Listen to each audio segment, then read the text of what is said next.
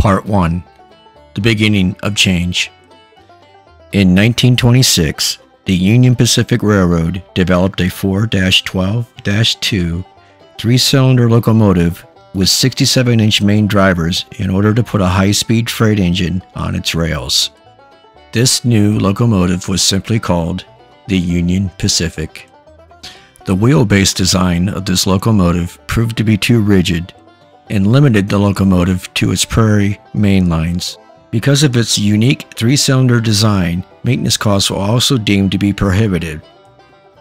In an effort to create a comparable but more flexible locomotive, Union Pacific General Mechanical Engineer Arthur Fetters worked with Alco to take a 4 12 2 size boiler and put it over a 4664 articulated underframe with 69 inch drivers. And thus, in 1936, the first new locomotive of this wheel design was built. It was called the Challenger.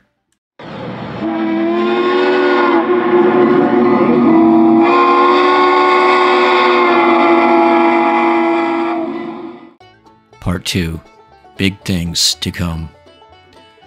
The Union Pacific took delivery of 40 of these originally designed Challengers in 1936 and 1937. One of the most successful high-speed articulated locomotives ever built, the Challenger enjoyed the combined benefits of a four-wheeled leading truck, 69-inch drivers that gave it better stability at higher speeds, unlike the earlier simple articulated designs that ran only 30 to 35 miles an hour. The Challenger was a huge, powerful locomotive with operational flexibility to run both freight and passenger trains at speeds up to 70 miles an hour. The Challenger was so successful that other railroads such as the Northern Pacific, Great Northern, Spokane, Portland, and Seattle, Denver, and Rio Grande, Western Pacific also ordered these locomotives from Baldwin and Alco. Traditionally, Big locomotives had been slow, plodding machines, and articulated locomotives in particular were known for power, but not speed. The Challenger changed it all and paved the way for Union Pacific's famous big boy locomotive. In 1942, pressure from the massive traffic needs from the war brought on the need for more heavy locomotives. The construction of the Challenger resumed, with 65 more units being built through 1944. A number of changes in the design were made. Cast steel frames, a boiler pressure increase to 255 psi, an increase of grate from 108 square feet to 132 square feet, and a practice of using just a vertical hinge in the big boy was adopted, which allowed an evening out of the weight distribution on the front and back set of drivers, thus solving a problem with the front drivers slipping in the original design. The following specifications apply to the second generation of the Challenger.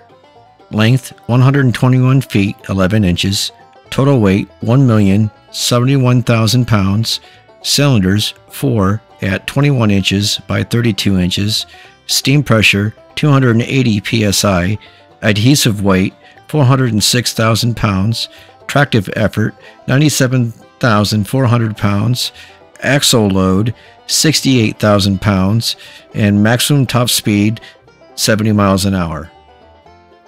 The railroad classification for both designs was Charlie Sierra Alpha 1 and Charlie Sierra Alpha 2. Challenger number 3985 was removed from the Union Pacific Steam Division and Excursion Service in 2020.